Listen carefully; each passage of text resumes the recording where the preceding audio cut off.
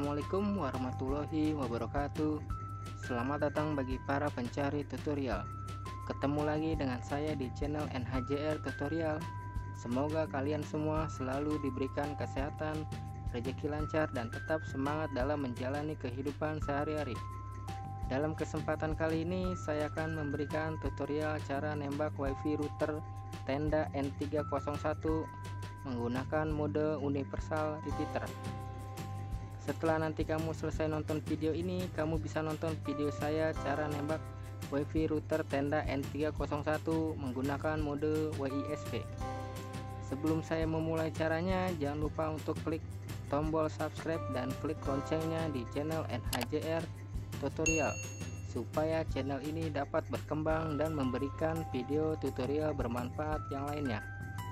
Oke langsung saja kita ke tutorialnya ini dia perangkat router N301 yang akan kita gunakan. Perangkat router tenda N301 ini sudah saya gunakan selama 2 tahun. Saya pasang router indoor di dalam rumah menyala tiap hari 24 jam. Kemudian dari kanan ini ada tombol reset. Lalu ada 4 port tuh 2 3 4 3 port LAN dan satu port WAN kemudian ada lubang power. Lalu kita pasang adapternya ke stop kontak. Lalu kita pasang juga cek powernya ke router tenda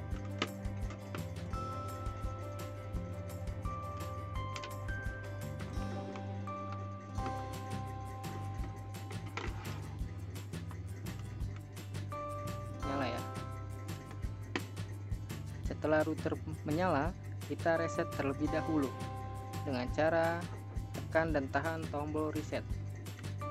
Ya. Resetnya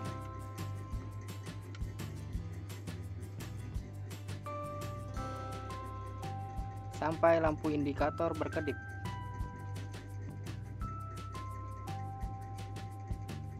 Nah itu berkedip tandanya sudah di reset ya. Lepas setelah selesai di reset kita hubungkan HP ke wifi tenda. Saya memakai HP realme. Caranya scroll dari atas ke bawah lalu tekan dan tahan icon wifi yang ada di pojok kiri. Nah di sini saya masih terhubung wifi Nur Hadi ya. Wifi ini nanti akan saya tembak ya menggunakan router tenda N301 lalu kita pilih tenda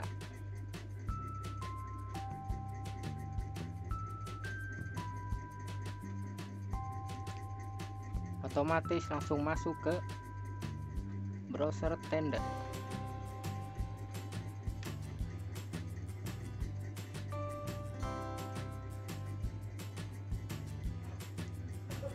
Nah ini dia tampilan utama browser tenda di IP 192.168.0.1 masuk ke tampilan utama tenda. Kemudian kita pilih dynamic IP scroll di sini kita ganti namanya.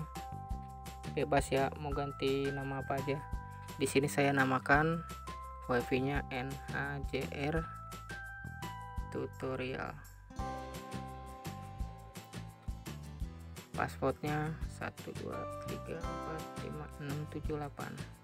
setelah selesai mengisi langsung klik OK.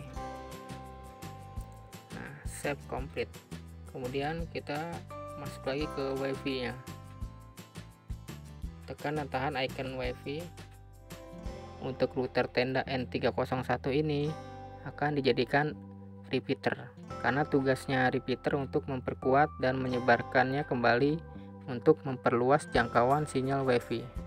Oke langsung saja kita hubungkan ke wifi yang tadi kita buat. Nama wifi nya NHJR tutorial. Kita klik kita masukkan passwordnya. 1 2 3 4 5 6 7 8 kemudian klik ikuti.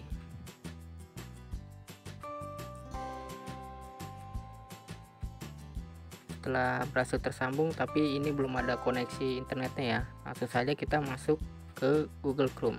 Kita close dulu ini. Kita buka Google Chrome. Kita buka Google Chrome kita ketikkan di sini IP-nya 192.168.0.1 enter. Setelah masuk tampilan awal router tenda N301 berbeda sekali dengan yang pertama ya. Di dalam router ini ada banyak fitur. Kita klik saja titik tiga ini ya di video ini saya hanya langsung ke poinnya saja ya untuk dijadikan repeater. Jika ingin tahu lebih jelas fungsi fiturnya bisa lihat video saya selanjutnya di tutorial cara nembak wifi router tenda N301 mode WISP balik lagi ke video. Setelah masuk ke tampilan awal kita pilih wireless setting di fitur ini, jika kamu ingin mengganti nama WiFi dan mengganti password sebelum router ini dijadikan repeater, karena setelah router ini dijadikan repeater, otomatis tidak bisa login lagi ke tenda, jadi tidak bisa mengganti password WiFi tenda. Beda dengan mode WISP. Kalau mode WISP bisa tetap login ke tenda IP ini. Oke, lanjut kita pindah ke fitur lainnya. Kita pilih wireless repeating Nah, di sini ada tiga ya, tiga mode ya, WISP, Universal Repeater, dan AP mode. Nah, di video ini saya akan menggunakan Universal Repeater. Oke, langsung saja klik. Kemudian scroll ke bawah. Lalu cari WiFi yang ingin kita nembak. Setelah ketemu nama WiFi-nya, kita pilih. Di sini saya pilih Nur Hadi ya. Karena saya sudah tahu nama passwordnya kita masukkan password wifi nya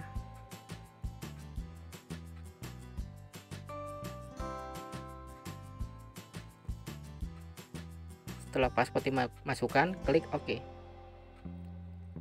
Pilih OK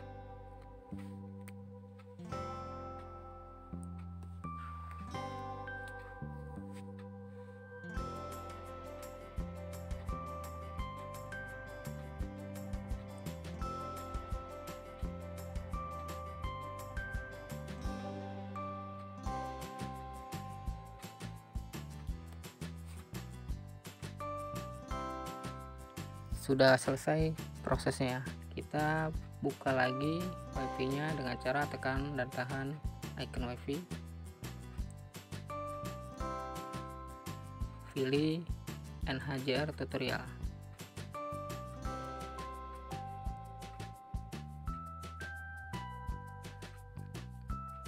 Nah sudah tersambung ya. Kita bisa tes speed atau buka YouTube ya untuk ngecek apa sudah bisa internetnya atau belum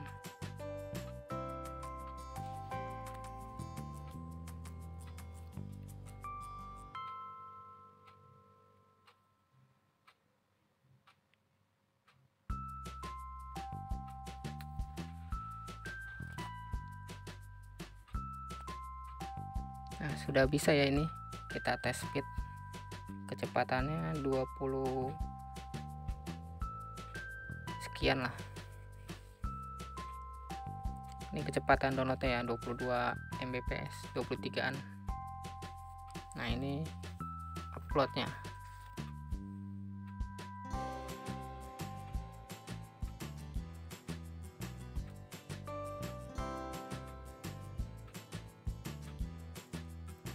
Nah selesai.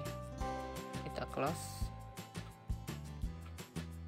Mudah dan cepat kan cara nembak wifi router tenda N301 mode universal repeater. Untuk cara nembak wifi router tenda N301 mode WISP kalian bisa lihat video saya selanjutnya. Terima kasih sudah mengikuti tutorial di video cara nembak wifi router tenda N301 mode universal repeater. Semoga video ini bermanfaat untuk kalian semua. Mohon saran dan kritik. Oke, sekian dulu ya video kali ini. Jangan lupa tekan like dan share untuk video saya ini dan subscribe channel NHJR tutorial sehingga kamu bisa mendapatkan video-video terbaru setiap kali saya mempublikasikan video baru di channel NHJR tutorial ini. Sekian terima kasih telah menonton dan sampai jumpa pada video selanjutnya.